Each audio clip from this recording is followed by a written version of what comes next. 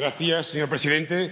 Señorías, la voluntad de las mujeres, la lucha del conjunto del feminismo, la presión de las izquierdas y con la inestimable ayuda en forma de prepotencia del señor Gallardón hicieron posible frenar la ley de Rajoy de interrupción del embarazo que enterraba una ley que nos homologaba al resto de sociedades avanzadas la ley del año 2010 que garantizaba los derechos sexuales y reproductivos de la mujer.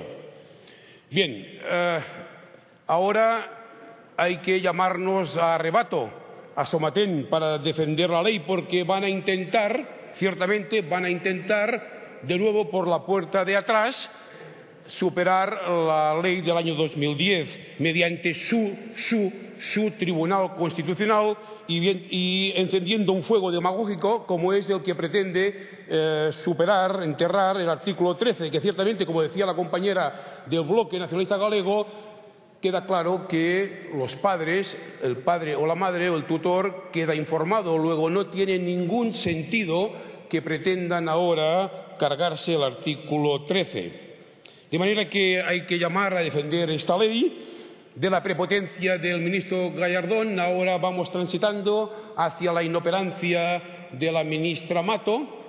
Son personas políticamente muy irresponsables y les pedimos que dejen de meter mano, mano política sucia, por supuesto, en los derechos sexuales y reproductivos de la mujer.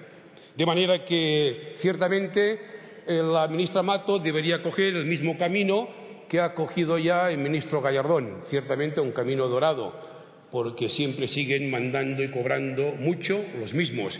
Pero bien, la ministra Mato debería dimitir, por supuesto, y repito, no meter sus sucias manos políticas en los derechos sexuales y reproductivos de la mujer. Muchas gracias.